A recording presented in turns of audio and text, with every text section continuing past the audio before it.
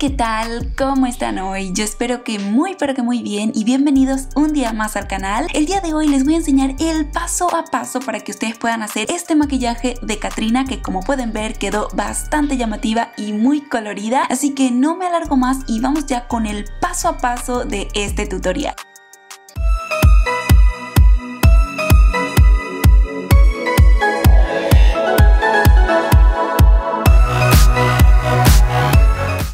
Vamos a comenzar con el paso a paso de nuestra Catrina. Aquí, como pueden ver, vamos a utilizar un lápiz negro y lo que vamos a hacer es dibujar unos círculos alrededor de nuestros ojos. Esto obviamente es para tener la silueta del ojo de nuestra Catrina. Después vamos a utilizar pinturas en crema y yo quise que esta Catrina quedara bien bien colorida con muchos muchos colores como ya vieron en la intro. Así que este círculo de, de los ojos yo lo voy a dividir en cuatro partes. Así que como ven, una cuarta parte la pinto de fucsia, la otra cuarta parte le pongo un toque de amarillo. En la parte de abajo vamos a poner el color morado, que aquí como ven voy a mezclar el fucsia y el azul para obtener el tono morado perfecto. Aquí ustedes obviamente pueden utilizar el degradado de colores que quieran, pueden incluso ponerlo en diferentes sitios. A mí me gustó la combinación en esta posición. Y luego en este otro pedacito que me falta lo estoy poniendo en el color turquesa. Después aquí vamos a difuminar o vamos a integrar mejor dicho la unión de los colores. Como ven aquí entre el fucsia y el amarillo se forma el color naranja, también vamos a difuminar el morado y el fucsia, el morado y el turquesa y el turquesa y el amarillo que a su vez forma el tono verde. Después todos estos tonos en crema los vamos a sellar con productos en polvo, en este caso unas sombras de ojos. Es muy importante porque así vamos a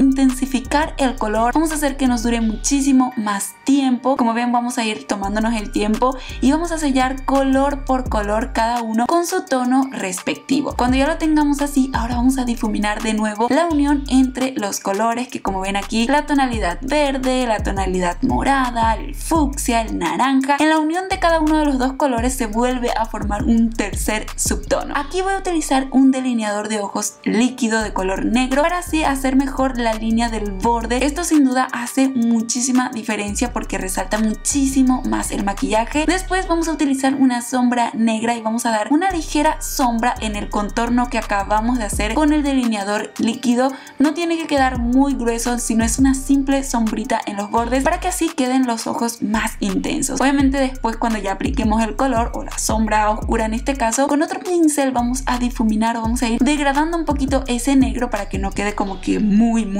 marcado. Después con el mismo lápiz negro vamos a hacerle unos pétalos a estos ojos, como ven, primero lo dibujamos y ahora lo vamos a pintar y en mi caso yo lo que voy a hacer es pintar cada pétalo con el color de acuerdo al tono que esté por la parte de abajo. Si se fijan, debajo del fucsia Obviamente lo pinto en fucsia. Donde está el amarillo, los pétalos los pinto de amarillo, el verde en verde, el turquesa en turquesa y el morado en morado. Obviamente también lo pueden hacer de un solo tono, de un solo color, pero a mí sin duda me encantó hacerlo así. Siento que se ve más llamativo, mucho más colorido y a mí, obviamente eso es lo que queremos, que resalte el degradado de los diferentes colores. Después como ven lo estoy sellando todo con sombras de ojos y ahora este paso es opcional, pero a mí siempre me encanta hacerlo porque le da un toque muy muy llamativo a los ojos y es de aplicar pestañas postizas. Como les digo, es opcional, pero a mí sin duda me encanta porque le da un toque más llamativo a la mirada. Después, en la línea, en la línea de agua voy a aplicar un lápiz de color blanco o pueden aplicar algún color de su preferencia, pero el blanco abre muchísimo la mirada. Y ahora vamos con la piel, con los ojos, digamos que ya hemos terminado por ahora. Y aquí lo que voy a hacer es maquillar todo el rostro de color blanco. Vamos a pintar todo el resto de la cara en blanco, pero no se acerquen mucho a los ojos porque ahí vamos a ser un poquito más detallistas, así que por ahí déjenlo de momento. Y aquí viene el trabajito un poquito más cuidadoso en esa zona. Voy a utilizar un pincel finito y biselado y como ven voy a ir cuidando bien los detalles de los pétalos que antes hicimos para que así esa zona quede con un trabajo más pulido, más limpio, por así decirlo. Ahora, todo este, este producto en crema que aplicamos en el rostro, obviamente lo vamos a sellar como les dije antes. Es importante sellar todos los productos en crema para que así nos dure más tiempo y que el color resalte resalte muchísimo más. Ahora vamos con el detalle en la nariz. Es muy sencillo, es como dibujar un gatito, como ven dos triangulitos en la parte de arriba, un círculo en la parte de abajo y lo rellenamos completamente. En mi caso lo estoy haciendo con el mismo delineador líquido. Ahora vamos a marcar bien los pómulos. Aquí voy a hacer un degradado de dos colores al inicio. Como ven, estoy aplicando la misma sombra de ojos fucsia que aplicamos en los ojos y después lo voy a degradar en un tono amarillo que a su vez cuando lo montamos o lo difuminamos entre sí se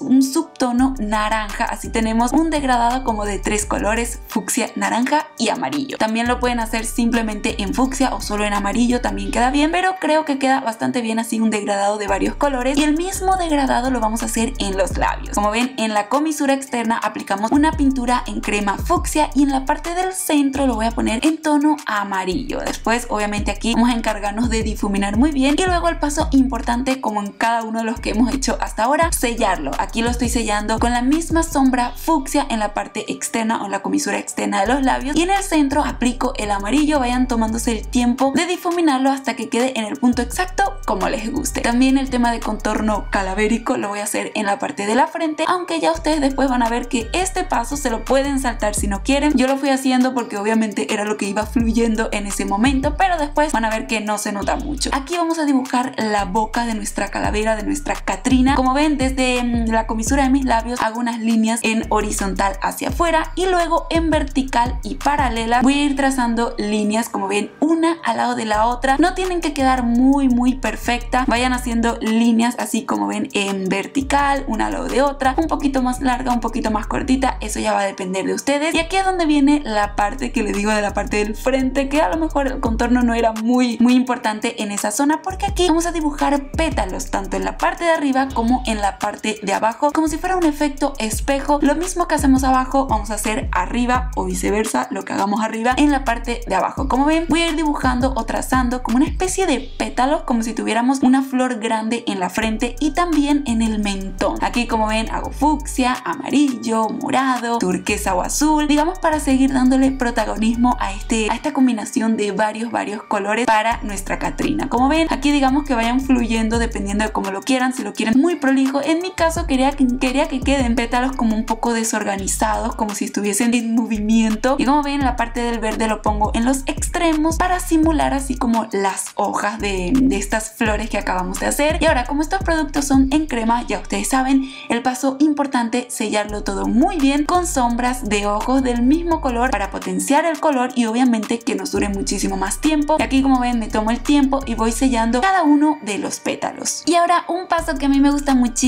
es resaltar estos pétalos creándole un ligero contorno como ven lo estoy haciendo con el mismo delineador líquido negro me encanta cómo queda porque hace que los pétalos resalten muchísimo más, que queden muchísimo más llamativos, pero no hace falta que la línea quede muy muy perfecta, ya ustedes van a ver, porque aquí una vez que tengamos ya todo bien marcado, lo, vamos, lo que vamos a hacer es utilizar una sombra negra y vamos a ir dándole un ligero sombreado a cada uno de los pétalos, lo hago con un pincel finito y biselado y una vez que tengan ya toda la sombra negra aplicada, aquí pueden tomarse el tiempo en ir difuminando muy bien cada pétalo, pueden agregar un poquito más de las sombras con color para resaltarlo un poquito más. Y listo, este sería el resultado final de nuestra Catrina, sin duda yo quedé encantada con el resultado, ya después quedan digamos algunos que otros detalles, como ven la diadema que hice la hice yo misma combinando varios colores de flores artificiales, unos pendientes ahí bien digamos que ya eso va en gusto, sin duda me encantó el resultado, me gustaría muchísimo que si han llegado hasta aquí me dejen este emoji en los comentarios para yo saber que han llegado hasta el final.